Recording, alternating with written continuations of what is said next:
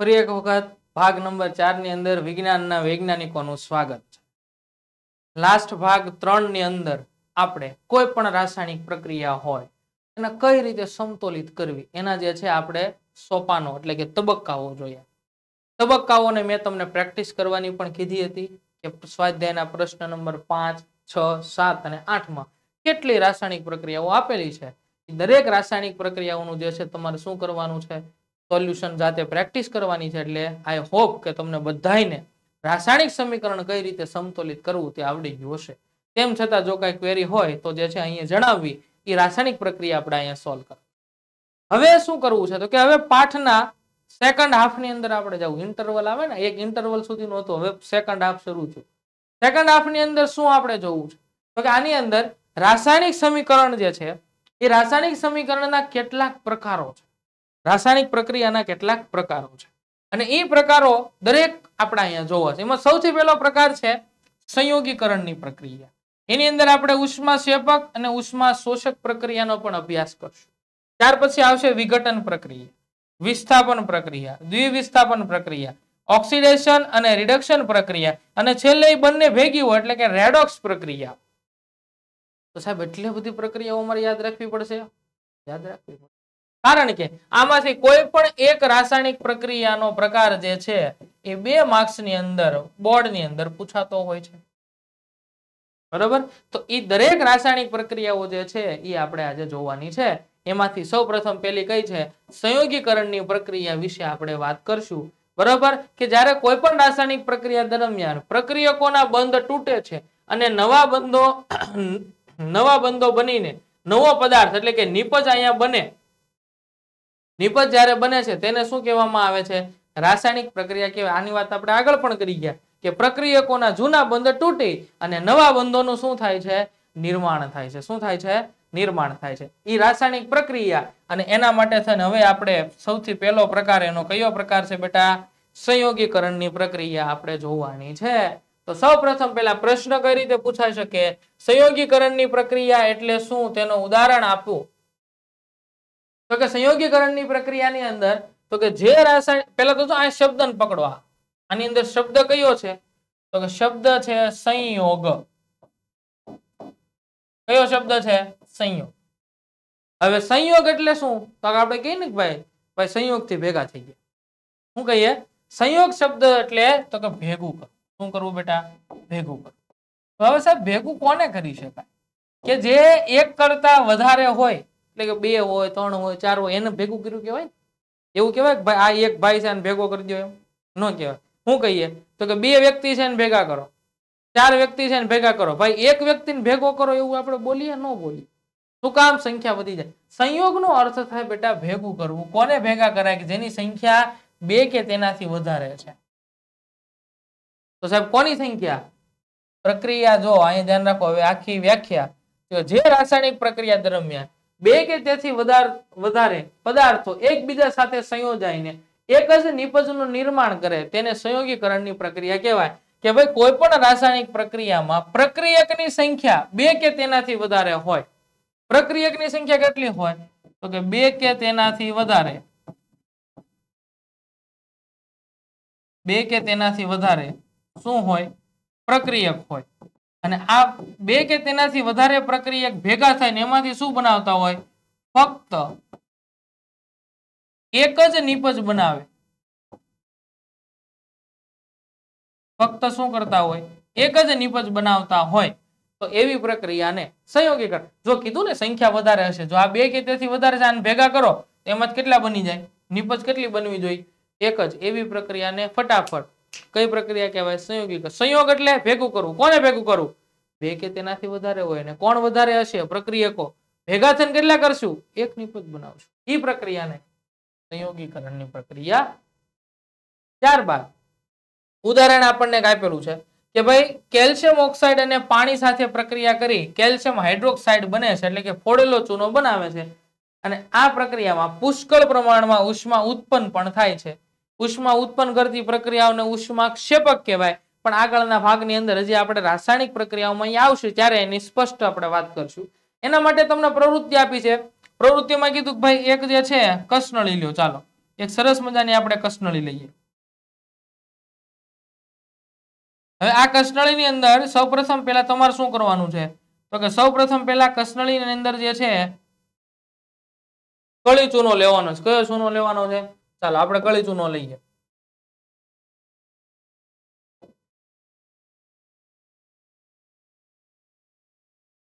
અહીંયા જે છે, આપણે સમજો કે આ રેડ કલરનો ભાગ જે મેં લીધો છે, આ કયો ચૂનો છે? કળી ચૂનો છે. કયો ચૂનો છે? કળી ચૂનો. કળી ચૂનાને રાસાયણિક રીતે કહેવામાં આવે કેલ્શિયમ કાર્બોનેટ. શું કહેવામાં આવે બેટા? Calcium carbonate. કેલ્શિયમ કાર્બોનેટનું સૂત્ર શું થાય? કેલ્શિયમ કાર્બોનેટનું સૂત્ર થાય CaCO3 શું થાય? CaCO3 અહીં લખ્યું તમને? સોરી કેલ્શિયમ ઓક્સાઇડ છે. એનું સૂત્ર આપણે calcium oxide. Calcium oxide.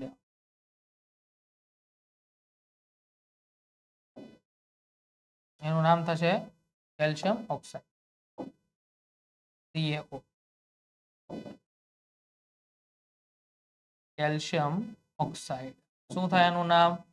Calcium oxide. Calcium ઓક્સાઇડનું સૂત્ર થાય CaO કળી ચૂનો કેલ્શિયમ ઓક્સાઇડ જે છે એ આપણે લીધો. આ કેલ્શિયમ ઓક્સાઇડ જે છે એની અંદર તમે પાણી નાખો. CaO કેલ્શિયમ ઓક્સાઇડમાં તમારે નાખવાનું શું છે? પાણી. જેવું તમે આની અંદર પાણી ઉમેરો, એટલે કે H2O તમે ઉમેરો છો, એટલે તરત જ અહીંયા રહેલો આ જે કેલ્શિયમ ઓક્સાઇડ જે છે એની પ્રક્રિયા પાણી સાથે થશે. કોની સાથે થાય? પાણી સાથે. પાણી સાથે પ્રક્રિયા થાય એટલે શું બન્યું? તો કે જો અહીંયા સીએઓ કેલ્શિયમ ઓક્સાઇડ, ઉપરથી આપણે કસનળીમાં શું નાખ્યું? પાણી.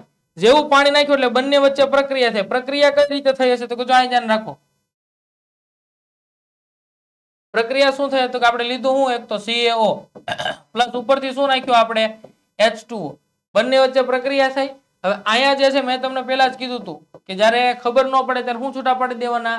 ધન આયન ને ઋણ આયન છૂટા પાડી દેવાના. આનો ધન આયન કયો છે? Calcium plus two. આનો ઋણ આયન કયો છે? Oxygen minus two. અહીંયા જે છે, આનું પણ તમે આયનીકરણ કરો.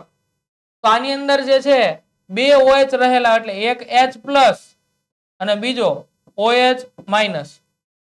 હવે આ ઓએચ જે છે, એ આની સાથે જોડાઈ જાય. તો OH કેટલા થયા જુઓ તો આ એક OH અને આ બીજો OH ટોટલ OH ની સંખ્યા કેટલી થઈ બેટા? બે થઈ કેલ્શિયમ કેટલા છે? એક. તો કે Ca કાઉન્સમાં અહીંયા OH OH કેટલા છે આ બે. આને કહેવામાં આવે કેલ્શિયમ હાઇડ્રોક્સાઇડ. શું કહેવામાં આવે? Calcium hydroxide. કેલ્શિયમ હાઇડ્રોક્સાઇડ કે જેને આપણે ફોડેલા ચૂના તરીકે ઓળખીએ છીએ. કયો ચૂનો કહીએ છીએ? ફોડેલો ચૂનો. તો આમ થાય સાહેબ, આ ફોડેલા ચૂનામાં શું ફેર છે? તો કે આપણે પાંત્રીસ ના માવા જે ખાતા હોય એને ખબર હોય, અંદર જે બાબુનું પાર્સલ આવે, શિવશક્તિનું પાર્સલ આવે, એ ખાઈ શકીએ. તો ફોડેલો ચૂનો છે. કયો ચૂનો છે? ફોડેલો. દિવાલ જે છે, એને રંગ કરવા માટે થઈને આપણે પહેલા સરસ મજાના જે છે લગાડતા હોય ને, તો એ ચૂનો કેવો છે? ફોડેલો ચૂનો. તો આ રાસાયણિક પ્રક્રિયામાં તમે જોવો છો, આ બાજુ પ્રક્રિયકની સંખ્યા કેટલી છે? તો કે બે પ્રક્રિયક છે બેટા, કેટલા પ્રક્રિયક છે? બે પ્રક્રિયક છે. એમાંથી મળતી નિપજ કેટલી તમને મળી? તો કે નિપજ ફક્ત એક જ મળી. નિપજ કેટલી મળી? ફક્ત એક જ. બરાબર બીજું? આ રાસાયણિક પ્રક્રિયામાં ક્યાંય એવું લખેલું છે કે ભાઈ આને ગરમ કરો એમ? તો કે આપણા કૃષ્ણળીને ક્યાંય ગરમ કરી નહીં. ગરમ નથી કરતા તેમ છતાં જ્યારે આ કસનળીના તળિયાના ભાગે તમારો હાથ જાય છે, ત્યારે ખ્યાલ આવે છે. શું ખ્યાલ આવે છે? કે ભાઈ આ કસનળી જે છે ઓટોમેટિક ગરમ થઈ જાય. ગરમ થવાનું કારણ પુષ્કળ પ્રમાણમાં શું ઉત્પન્ન થાય છે? ઊર્જા ઉત્પન્ન થાય છે. ઉષ્મા ઉત્પન્ન થાય છે. આ ઉષ્મા ઉત્પન્ન થાય છે એટલા માટે આ પ્રક્રિયાને ઉષ્મા શેપકમાં પણ આપણે લઈ શકીએ. પણ મેં કીધું ને, આગળ રાસાયણિક પ્રક્રિયાનો પ્રકાર આવશે ત્યારે આપણે વધારે વાત કરશું. ખ્યાલ આવો પહેલું ઉદાહરણ આપણે કોનું જોયું? કેલ્શિયમ ઓક્સાઇડ અને પાણીનું આપણે જોયું. ત્યારબાદ બીજું ઉદાહરણ તમને આપેલું છે કોલસાનું સળગવું. કોલસાનું સળગવું એટલે? કોલસો એટલે કે કાર્બન. પ્લસ કોલસાને તમે સળગાવો એટલે હવાની હાજરીમાં સળગવાનો છે. હવામાં કયો વાયુ હોય? તો કે ઓક્સિજન હોય. બંને વચ્ચે રાસાયણિક પ્રક્રિયા થાય એમાંથી કાર્બન ડાયોક્સાઇડનો ધુમાડો નીકળ્યો એટલે કે અહીં કાર્બન ડાયોક્સાઇડનો ગેસ નીકળ્યો પ્લસ અહીં છૂટી પડે છે ઉષ્મા. કારણ કે તમે કોલસા હળગાવો એટલે અગ્નિ ઉત્પન્ન થાય, એનાથી તમને શું મળે? તો કે ઉષ્મા મળે. અહીંયા શું છૂટી પડતી હતી, ઉષ્મા છૂટી પડતી હતી. બરોબર? તો હવે તમે અહીંયા જુઓ. આ તમે લીધો એ કોલસો હવાની હાજરીમાં સળગાય ઓક્સિજન. તો બંને બાજુ પ્રક્રિયકની સંખ્યા સોરી પ્રક્રિયકની સંખ્યા કેટલી થઈ ગઈ? તો કે બે પ્રક્રિયક છે. એ બંને પ્રક્રિયકો ભેગા થઈને એમાંથી નિપજ કેટલી બનાવી? તો કે નિપજ ફક્ત એક જ બનાવી ને તો એવી રાસાયણિક પ્રક્રિયા કે જે રાસાયણિક પ્રક્રિયામાં પ્રક્રિયકની સંખ્યા બે કે તેનાથી વધારે થતી હોય, તો એને બે કે તેનાથી વધારે હોય અને એમાંથી બનતી નિપજની સંખ્યા ફક્ત કેટલી હોય? તો એક જ હોય, તો એવી રાસાયણિક પ્રક્રિયાને સંયોગીકરણની પ્રક્રિયા કહે છે. તો આ બીજું ઉદાહરણ જે છે એ તમે લખી શકો છો કયું? તો કે કોલસાનું સળગ. ત્યારબાદ ત્રીજું ઉદાહરણ પણ આપેલું છે. ત્રીજું કયું? તો કે એચ ટુ ગેસ અને ઓ ગેસમાંથી કોનું નિર્માણ કરવું? પાણીનું. અહીંયા તમે જુઓ એચ ટુ ગેસ અને ઓ ટુ પ્રક્રિયકની સંખ્યા કેટલી? તો સાહેબ, બધામાં બે જ પ્રક્રિયક લેવાના જરૂરી નથી. પ્રક્રિયકની સંખ્યા ત્રણે હોઈ શકે. ચારે હોઈ શકે, એનાથી વધારે પણ હોઈ શકે. પણ એમાંથી બનતી નિપજની સંખ્યા એક જ હોવી જોઈએ. આ જરૂરી છે.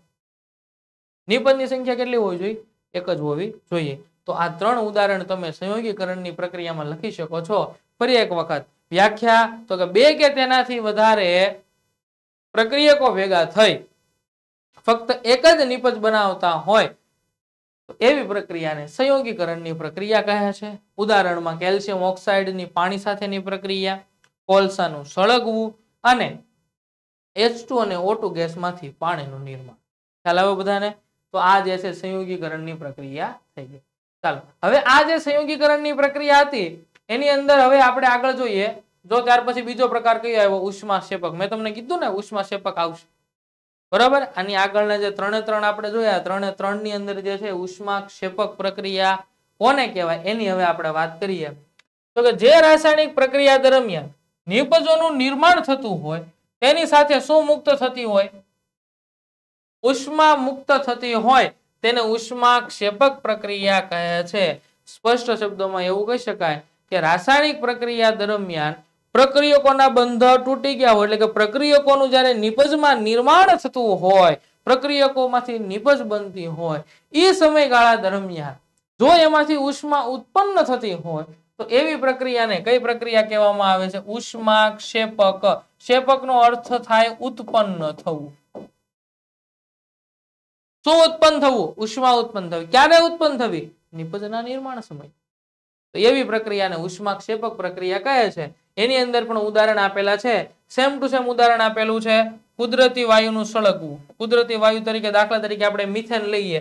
મિથેન એટલે કે ફોર આને તમે સળગાવો. હવાની હાજરીમાં એટલે કે ઓક્સિજન હોય, સૌપ્રથમ એમાં છૂટો પડે સીઓ પ્લસ એમાંથી છૂટું પડશે પાણી, એટલે કે એચ અને પ્લસ એમાંથી છૂટી પડશે ઉષ્મા. કારણ કે આ તો મળશે જ ને. આ છૂટી પડે એટલા માટે જ આને કયા ઉદાહરણમાં, કઈ પ્રક્રિયામાં આપણે લખ્યું? ઉષ્મા શેપક મિથેન વાયુને સળગાવ્યો?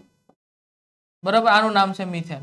મિથેન વાયુને હવાની હાજરીમાં જ્યારે સળગાવ્યો તો હવાની અંદર શું રહેલું છે? તો કે આપણને બધાને ખબર છે, ઓક્સિજન વાયુ રહેલો છે.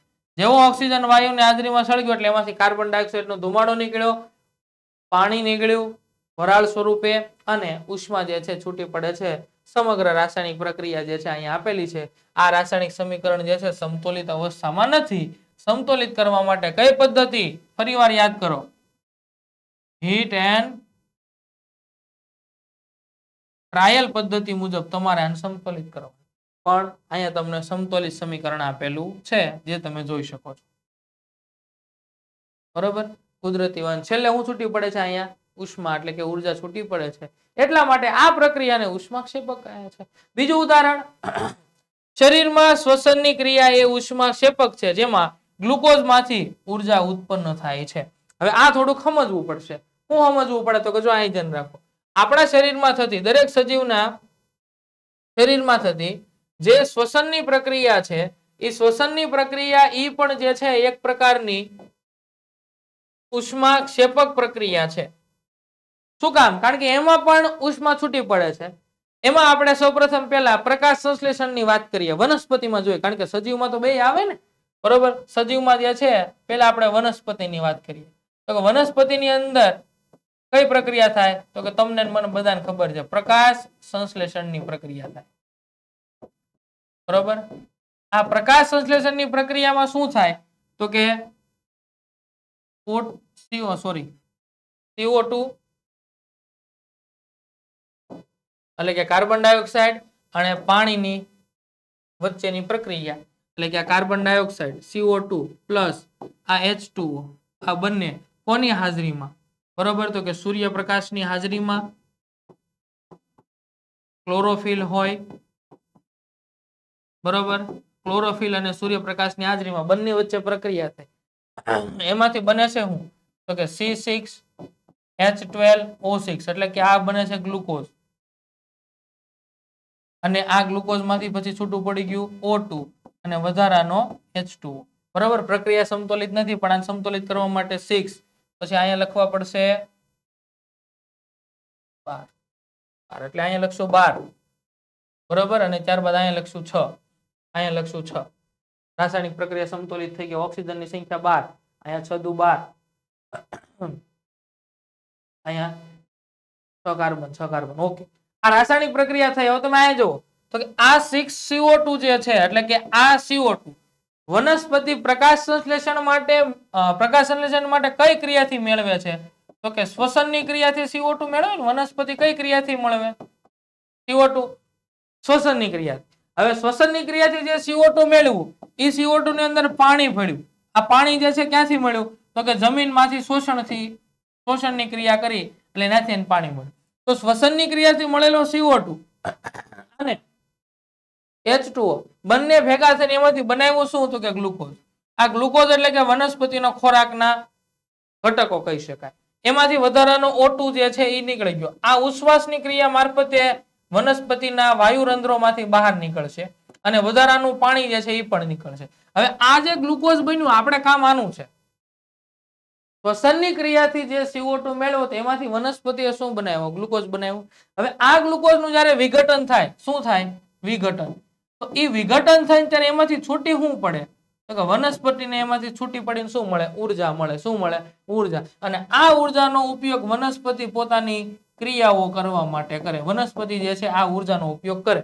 તો મને તમે એ કહો કે આ પ્રક્રિયાને અંતે, એટલે કે આ સમગ્ર પ્રક્રિયાને અંતે છૂટું શું પડ્યું? ઊર્જા. ઉષ્મા છૂટી પડી ને?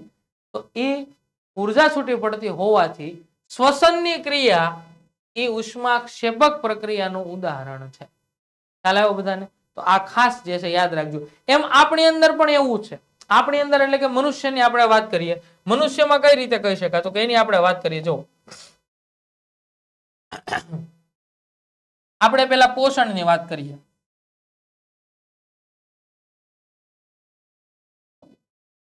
તો કે મનુષ્ય જે છે, પોષણની ક્રિયા એટલે કે આ ક્રિયા દ્વારા મનુષ્ય શું મેળવે છે? તો કે ખોરાક મેળવે. બરોબર? આ ખોરાક જે છે, એનું પાચન થાય એમાંથી શું પડે? એમાંથી શું છૂટા પડે? તો કે એમાંથી જે છે, પાચક દ્રવ્યો છૂટા પડે. બરોબર? આ પાચક દ્રવ્યોની અંદર મોટા ભાગે હોય શું? તો કે એક તો આ હોય. C six H twelve O six એટલે કે ગ્લુકોઝ હોય. શું હોય? ગ્લુકોઝ હવે આ ગ્લુકોઝ બની જાય ત્યાં સુધીમાં પૂરું થઈ જાય? નહીં. પૂરું નથી થતું. આ ગ્લુકોઝનું બેટા હવે વિઘટન કરવું પડે. શું કરવું પડે? વિઘટન. હવે એનું વિઘટન કરવા માટે છે ને ઓક્સિજનની જરૂરિયાત છે. કોની જરૂરિયાત છે? ઓક્સિજન. શેના માટે જરૂરિયાત છે? તો કે વિઘટન કરવા માટે. શું કરવા માટે? તમારે પાઠ નંબર પાંચ, જૈવિક ક્રિયાઓની અંદર આખો ટોપિક આવશે ત્યારે તમને વધારે ખ્યાલ આવશે. હવે આ ઓક્સિજન, આપણે મનુષ્યની વાત કરતા હતા ને, તો મનુષ્ય ઓક્સિજન કઈ ક્રિયાથી મેળવે છે? તમને ને મને બધાને ખબર છે. કઈ ક્રિયાથી મેળવે છે? શ્વસનની ક્રિયાથી તો શ્વસનની ક્રિયાથી જે ઓક્સિજન મેળવશું, એ આ ઓક્સિજન જે છે આવશે અને આ ગ્લુકોઝનું વિઘટન કરશે. સૌપ્રથમ આ છ કાર્બન યુક્ત ગ્લુકોઝ છે. એ છ કાર્બન યુક્ત ગ્લુકોઝનું વિઘટન કરીને એમાંથી ત્રણ કાર્બન યુક્ત પાયરુવેટ બનાવશે. શું બનાવશે? પાયરુવેટ. અને આ પાયરુવેટનું કડાપ સૂત્રની અંદર વિઘટન થઈને એમાંથી છૂટું પડશે. સીઓ ટુ પ્લસ ઊર્જા શું છૂટી પડશે. અહીંયા તમે જોવો તો, શ્વસનની ક્રિયાથી જે ઓક્સિજન આવ્યો હતો એ ઓક્સિજનને અંતે છૂટી શું પડી? ઊર્જા. અને આ ઊર્જા જે છે એ એડીપી સ્વરૂપે, કયા સ્વરૂપે મનુષ્યમાં હોય? એડીપી સ્વરૂપે. એની અંદર ફરીથી પાછો એક ફોસ્ફેટ ભળે, એટલે એમાંથી એનું રૂપાંતર થઈ જાય એટીપી માં થઈ જાય. આ એટીપી નો ઉપયોગ આપણે આપણી દેહ ધાર્મિક ક્રિયાઓ કરવા માટે કરીએ છીએ, જે ખરેખર ખરા અર્થમાં છે, હું એક પ્રકારની ઊર્જા છે. તો શ્વસનની ક્રિયાથી જે ઓક્સિજન મેળવ્યો હતો, એની પ્રક્રિયાને અંતે આપણને મળ્યું હું? ઊર્જા મળી કે નહીં? એટલા માટે થઈને શ્વસનની પ્રક્રિયા જે છે, એ એક પ્રકારની ઉષ્માક્ષેપક પ્રક્રિયા છે. શરીરમાં શ્વસનની ક્રિયા એ ઉષ્માક્ષેપક છે, જેમાં ગ્લુકોઝમાંથી શું ઉત્પન્ન થાય છે? ઊર્જા ઉત્પન્ન થાય છે અને આ વૈજ્ઞાનિક કારણ બેટા પૂછાય છે ખાસ યાદ રાખજો. ચાલો, ત્યાર પછી આપણે ત્રીજો પ્રકાર આવે છે, કયો આવે છે? વિઘટન પ્રક્રિયા એટલે શું સમજાવો? સંયોગીકરણની પ્રક્રિયા જોઈતી. એમાં આપણે એવું લખ્યું કે બે કે તેનાથી વધારે પ્રક્રિયકો ભેગા થઈને જો એક જ નિપજ બનાવતા હોય, તો સંયોગીકરણ કહેવાય. આનાથી ઊંધું કરી નાખો. ઊંધું એટલે શું? કે વિઘટન પ્રક્રિયા કે જે રાસાયણિક પ્રક્રિયા દરમિયાન કોઈ એક પદાર્થને વિઘટન થઈ અને એમાંથી બે કે તેનાથી વધારે સરળ નિપજો બનતી હોય, તો એને વિઘટન પ્રક્રિયા કહેવાય. કે જે રાસાયણિક પ્રક્રિયા દરમિયાન કોઈ એક પદાર્થને વિઘટન કરી તેને તોડીને એકથી વધુ સરળ નિપજો ઉત્પન્ન કરવામાં આવે, તેને વિઘટન પ્રક્રિયા કહે છે. પણ આની અંદર થોડુંક હું તમને વધારે સમજાવું.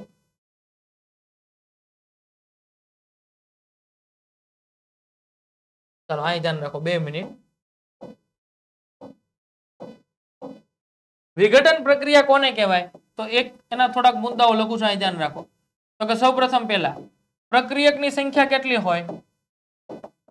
તો કે પ્રક્રિયક એક જ હોય. આ એક જ પ્રક્રિયકનું વિઘટન થાય. શું થાય? એટલે કે તોડવાનું. વિઘટન કરવું એટલે તોડવાનું. એ એક જ પ્રક્રિયકને તોડીને તેમાંથી બે કે તેનાથી વધારે, બે કે તેનાથી વધારે નિપજનું નિર્માણ થાય. બે કે તેનાથી વધારે નિપજનું નિર્માણ થાય. તો એવી પ્રક્રિયાને બેટા કઈ પ્રક્રિયા કહેવાય? વિઘટન. સંયોગીકરણથી ઊંધું છે. સંયોગીકરણમાં બે કે તેનાથી વધારે ભેગા કરવાના. અહીંયા એક હોય, એને છૂટા પાડીને ત્રણ ચાર કરાવી નાખવાના. એટલે કે એક જ પ્રક્રિયકને તોડીને એમાંથી બે કે તેનાથી વધારે નિપજનું નિર્માણ થતું હોય, તો એવી પ્રક્રિયાને બેટા કઈ પ્રક્રિયા કહેવાય? વિઘટન પ્રક્રિયા કહેવાય. પણ હવે આને તોડવા માટેના ત્રણ રસ્તા છે. બરોબર? એટલે કે વિઘટન કરવા માટેના ત્રણ રસ્તા છે. જો તમે ઉષ્મા આપીને વિઘટન કરતા હોય, શું આપીને વિઘટન કરતા હોય? ઉષ્મા આપીને. તો એ પ્રક્રિયાને ઉષ્મીય વિઘટન કહેવાય. કયું વિઘટન કહેવાય? ઉષ્મીય વિઘટન કહેવાય. જો તમે પ્રકાશ આપીને વિઘટન કરતા હોય, પ્રકાશ દ્વારા એનું વિઘટન કરતા હોય, તો એવા વિઘટનને પ્રકાશીય વિઘટન કહેવાય. કયું વિઘટન કહેવાય? પ્રકાશીય વિઘટન. અને ત્યારબાદ ત્રીજું, જો તમે વિદ્યુત આપીને એનું વિઘટન કરતા હોય, વિદ્યુત વડે એનું વિઘટન કરતા હોય, તો એવા વિઘટનને વિદ્યુતીય વિઘટન કહે છે. કયું વિઘટન કહે છે? આ ત્રણ પ્રકારના વિઘટન. એનો આધાર કોની ઉપર છે? તમે કોના વડે એનું વિઘટન કરો છો? ઉષ્મા વડે કરતા હોય તો ઉષ્મીય વિઘટન છે. ત્યારબાદ પ્રકાશ વડે કરતા હો તો પ્રકાશીય વિઘટન છે અને જો વિદ્યુત વડે કરતા હો તો વિદ્યુતીય વિઘટન. એનું આપણે સરસ મજાનું એક ઉદાહરણ લઈએ. બરોબર? તો સૌપ્રથમ પેલા ઉદાહરણની અંદર આપણે પેલા ઉષ્મીય વિઘટનની જરાક વાત કરીએ. આ ઉષ્મીય વિઘટનની અંદર પેલા આપણે કસનળી લઈએ. શું લઈએ બેટા? તો કે કસનળી ચાલો આ ધ્યાન રાખો. આ એક સરસ મજાની આપણે કસનળી લીધી. હવે આ કસનળીની અંદર જે છે, તમારે એક પદાર્થ લેવાનો છે. એ પદાર્થનું નામ છે ફેરસ સલ્ફેટ. બરોબર? આછા લીલા રંગનો પદાર્થ છે. શું લેવાનું છે તમારે? ફેરસ સલ્ફેટ, એટલે કે FeSO4 શું લેવાનું છે? Ferrous sulphate. હવે આને ઉષ્મા તમારે આપવાની. શું આપવાની છે? ઉષ્મા. ઉષ્માની હાજરીમાં જ્યારે આનું તમે વિઘટન કરો છો, ત્યારે શું થયું? તો કે આ FeSO4 નું વિઘટન થયું એટલે આમાંથી કાંઈક વાયુ પહેલા તો ઉદ્ભવ્યો. શું ઉદ્ભવ્યો? વાયુ ઉદ્ભવ્યો. એ વાયુ કોનો છે એ આપણને હજી ખબર નથી. અને બીજું પેલા જે છે આ પદાર્થનો રંગ તમને જે આછો લીલો રાખતો હતો, આછો લીલો રાખતો હતો એ રંગ જે છે હવે લાલાશ પડતો થઈ ગયો. કેવો રંગ થઈ ગયો? લાલાશ પડતો રંગ થઈ ગયો. તો આ રંગ પરિવર્તન શા માટે થયું? શા માટે થયું? તો એના માટે છે ને ફરી વાર કસનળી લેવાની કસનળીમાં કયો પદાર્થ લેવાનો? FeSO4 ચાલો FeSO4 આપણે લઈએ. આ FeSO4 ફેરસ સલ્ફેટ આનું નામ છે, યાદ રાખજો. આનું નામ શું છે? ફેરસ સલ્ફેટ એને તમે ઉષ્મા આપી, ઉષ્મા આપવા માટે થઈને ચોક્કસ નથી, એટલે ઉપર ડેલ્ટા કરીએ. બરોબર? જેવું તમે ઉષ્મા આપી એટલે એમાંથી એક બન્યું Fe two O three plus એમાંથી બન્યું SO ટુ પ્લસ એમાંથી બન્યું એસઓ હવે આ જે બે છૂટા પડ્યા, સલ્ફર ડાયોક્સાઇડ અને સલ્ફર ટ્રાયોક્સાઇડ, બંને વાયુ તરીકે છૂટા પડ્યા. એટલે અહીંથી જે વાયુ છૂટો પડે છે ખરેખર કોનો છૂટો પડે છે? સલ્ફર ડાયોક્સાઇડ અને સલ્ફર ટ્રાયોક્સાઇડ નો છૂટો પડે એસો ટુ અને એસો થ્રી હવે જે પદાર્થ વધ્યો કયો વધ્યો? તો કે આને કહેવામાં આવે ફેરિક ઓક્સાઇડ કહેવાય. શું કહેવામાં આવે છે? Ferric oxide. અને આ ફેરિક ઓક્સાઇડ જે છે, એનો રંગ લાલાશ જેવો એટલે કે લાલ જેવો રંગ આનો હોય. લાલાશ પડતો રંગ છે. તો હવે તમે અહીંયા જુઓ. પ્રક્રિયા બેલેન્સ નથી. બેલેન્સ કરવા માટે અહીંયા આગળ બે હું મૂકી દઉં, એટલે પ્રક્રિયા બેલેન્સ થઈ ગઈ. હવે તમે મને કહો, પ્રક્રિયકની સંખ્યા કેટલી છે? પ્રક્રિયકની સંખ્યા એક. એમાંથી મળતી આ ટોટલ નિપજની સંખ્યા કેટલી થઈ? ત્રણ. કેટલી થઈ? ત્રણ. તો જે રાસાયણિક પ્રક્રિયામાં એક જ પ્રક્રિયકનું વિઘટન થઈને શેના વડે વિઘટન થયું? આપણે ઉષ્મા આપી. બરોબર? ઉષ્મા વડે વિઘટન થયું અને એ એક જ પ્રક્રિયકમાંથી બે કે તેનાથી વધારે નિપજો મળી, તો આવી પ્રક્રિયાને બેટા કયું વિઘટન કહેવામાં આવે છે? ઉષ્મા વડે થાય છે એટલે વિઘટન. અને એ પ્રક્રિયાને કયો પ્રક્રિયા કહેવાય? વિઘટન પ્રક્રિયા. આ વિઘટન પ્રક્રિયાનું ઉદાહરણ હતું. ખ્યાલ આવી ગયો બધાને? બરોબર? આવી જ રીતે જે છે આ વિઘટન પ્રક્રિયા જે છે કીધું ને, ઉષ્મા, પ્રકાશ અને વિદ્યુતનો ઉપયોગ કરી શકાય છે. ફેરસ સલ્ફેટનું કીધું. ફેરસ સલ્ફેટ જે છે લીલા રંગના સ્ફટિક છે, જેને ઉષ્મા આપવાથી તેનું વિઘટન થાય, તેમાંથી પાણી દૂર થાય છે અને સ્ફટિકનો રંગ બદલાય છે. ફેરિક ઓક્સાઇડ, સલ્ફર ડાયોક્સાઇડ અને સલ્ફર ટ્રાયોક્સાઇડ. આ બધું આપણે લખી ગયા. જો આ ફેરિક ઓક્સાઇડ, સલ્ફર ડાયોક્સાઇડ અને સલ્ફર ટ્રાયોક્સાઇડ બન્યા બરોબર? એવી જ રીતે કેલ્શિયમ કાર્બોનેટને પણ ઉષ્મા આપવાથી તેનું કેલ્શિયમ ઓક્સાઇડ એટલે કે કળી ચૂનો બને છે અને કાર્બન ડાયોક્સાઇડમાં વિઘટન થાય છે. આપણે જે ઉષ્મા સંયોગીકરણની પ્રક્રિયામાં જે પ્રક્રિયા લખી હતી એની એ જ પ્રક્રિયા છે અહીંયા. આ પ્રક્રિયા કેલ્શિયમ કાર્બોનેટ જે છે, એનું વિઘટન કરવાથી શું થાય? તો કેલ્શિયમ કાર્બોનેટ એટલે કે CaCO3 આને તમે ઉષ્મા આપો. જેવી ઉષ્મા આપો એટલે આમાંથી આનું વિઘટન થાય. આનો ધન આયન છૂટો પડે ટુ. આનો ઋણ આયન છૂટો પડે CO થ્રી માઇનસ ટુ. પણ અહીંથી એક કેલ્શિયમ, આમાં રહેલા ત્રણ ઓક્સિજનમાંથી એક ઓક્સિજન લઈ જાય એટલે CaO આ બની ગયું કેલ્શિયમ ઓક્સાઇડ. શું બની ગયું બેટા? Calcium oxide. બરોબર? કેલ્શિયમ એક ઓક્સિજન લઈ ગયું, તો અહીંયા વધ્યા કેટલા? બે. બે વધ્યા એટલે બે ઓક્સિજન જે છે, કાર્બન સાથે હતા એટલે CO2 બની ગયું. તો લીધેલા પ્રક્રિયકની સંખ્યા એક, પણ એમાંથી મળતી નિપજની સંખ્યા બે. તો આવી પ્રક્રિયાને કઈ પ્રક્રિયા કહેવામાં આવે છે? વિઘટન પ્રક્રિયા કહે છે. ખ્યાલ આવી ગયો બધાને? તો આ જે છે, ત્યાર પછી બીજું પણ તમને આપેલું છે લેડ નાઇટ્રેટ વાળું. કે એક કસનળીની અંદર લેડ નાઇટ્રેટ લ્યો. લેડ નાઇટ્રેટ લ્યો એટલે રેડ નાઇટ્રેટ આપવા તેનું વિઘટન થઈ. કથ્થાઈ રંગનો નાઇટ્રોજન ડાયોક્સાઇડ જે છે, એ આમાંથી બહાર નીકળે છે ધુમાડો. આ લેડ નાઇટ્રેટ તમે લ્યો એટલે પીબી પ્લસ ટુ અને એનઓ થ્રી માઇનસ વન પણ એનઓ થ્રી માઇનસ વન ના કેટલા છે? અહીંયા બી આપેલા છે. હવે આમાંથી એક પીબી જે છે, આ કોઈ પણ એકમાંથી એક ઓક્સિજન લઈને વયો ગયો, એટલે એમાં શું છૂટું પડી ગયું? પેલા પીબી બરોબર? હવે અહીંયા કેટલા હતા? બે હતા, એમાંથી એક વયો ગયો, એટલે અહીંયા શું વધ્યું? હવે એનઓ થ્રી માંથી, તો કે એનઓ ટુ તો જો આ એનઓ ટુ છૂટું પડી ગયું, બરોબર? પણ અહીંયા બંને નાઇટ્રોજન એક એક લઈને જાય છે, એટલે આ પણ એનઓ ટુ જે છે, આમાંથી પણ જશે અહીંયાથી પણ ગયા એટલે આમાં પણ શું વધશે? તમારે એનો ટુ હવે એક ઓક્સિજન અહીં છે ને એક ઓક્સિજન અહીંયા નીચેનો છે એટલે બંને છૂટા પડીને એમાંથી શું થઈ ગયું? ઓ તો તમે લેડ નાઇટ્રેટ જે લીધું, એ લેડ નાઇટ્રેટમાંથી લેડ ઓક્સાઇડ નાઇટ્રોજન ડાયોક્સાઇડ અને ઓક્સિજન વાયુ છૂટો પડ્યો.